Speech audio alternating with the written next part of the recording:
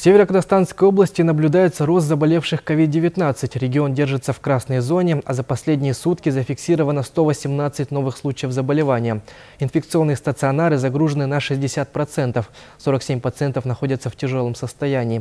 Всего же с начала распространения COVID-19 инфицировано 25 тысяч жителей области. 3,5% от общего числа больных, а это 885 человек, медицинские работники. Более 23 тысяч человек выздоровели, 220 227 североказахстанцев скончались, не справившись с заболеванием.